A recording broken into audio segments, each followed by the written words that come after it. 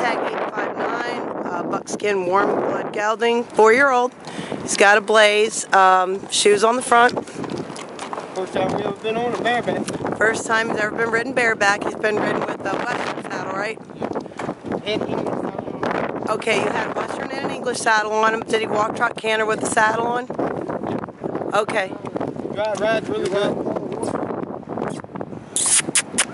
He's not used to being here, and it's windy today, but they had him, um, and he did real good when they had him and rode him at home.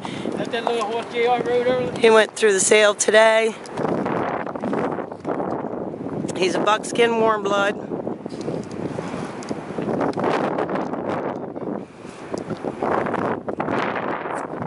No, it's a real windy day.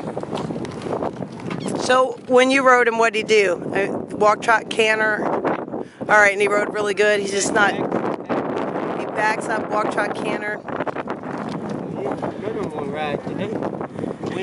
I know it's a bad day. They always like to act up in the wind. It's not a great day to ride in or to get good evaluations in. And he's only four years old and he's still growing too. All right, we want to trot him in hand. So he does know how to walk, trot, and canter. Does ride English or Western.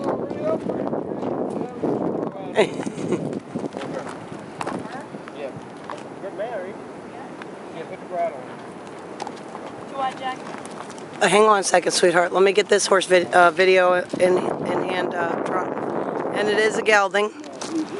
So he had just did he have shoes put on today? Yeah. Okay. So and he's never had shoes put on before. So he might be not used to the shoes too.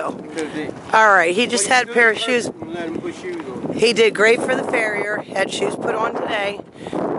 Probably never had shoes on before. So.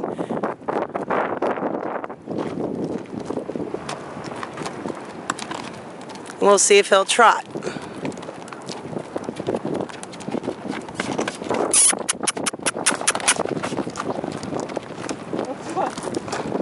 He's gonna have to get used to them shoes. There he goes. There's a trot.